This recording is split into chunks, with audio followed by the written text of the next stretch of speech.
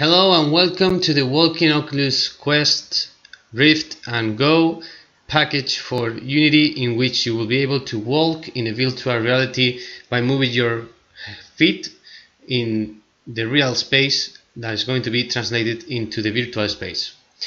So to achieve that we have a script that you can see here that is called the pedal, the pedal from pedometer and in fact what it contains is different references to the gestures manager. The gesture manager is just going to search for the movement of your hands and compare if it's going to be one of these positions. So you have the option of plugging your nose, plug the ears or rubbing your eyes. So those three gestures are also managed by that script here.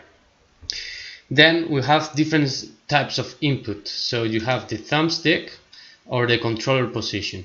That means that if you select the thumbstick, you will be able to move as in the test APK that we have uploaded into the Unity Asset Store.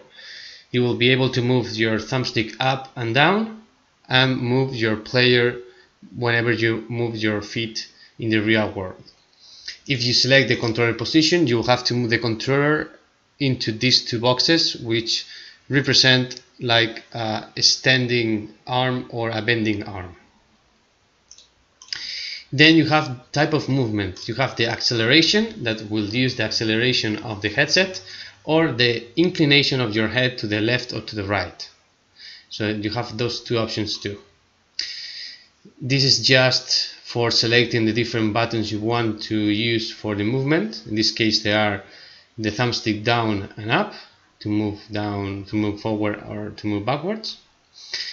Then um, the most important thing is this part here that is filtering that is used for achieving the movement thanks to the um, evolution of the accelerometer value and these values here are the ones that we have um, obtained by testing and uh, doing some experimental tests on the device. So we um, recommend no, not to change them uh, except for the um, the speed factor here that you can change it or better yet you can change the um, two values for the movement forward and the movement backwards are here. They are the selected speeds. So these are the two speeds that are used in order to calculate the movement at the fixed update. Then for the head inclination, you have the inclination angle that will be the same for the left and for the right. And these two boxes will check whenever the head is inclined to the left or to the right. Then we have some reference to the player controller character controller and then to the head. Then we have the gravity and this speed factor is going to be public but in fact is going to be calculated from the forward and backward speed.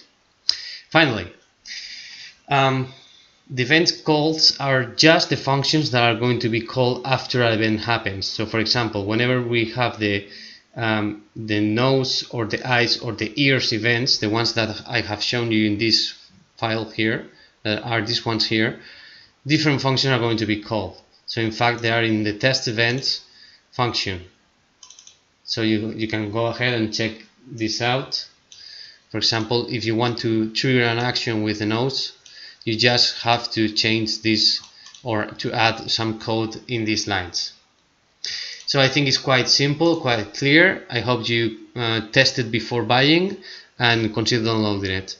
Uh, another important point is that uh, in the test um, file. We haven't used exactly these uh, three scenes that are included. We have used one external scene that is, is, more attractive for you in order to test in a real environment. If you want to uh, add it to your project it's called the city park. That is a quite uh, interesting asset that is in the asset store. Um, and um, thanks for watching this video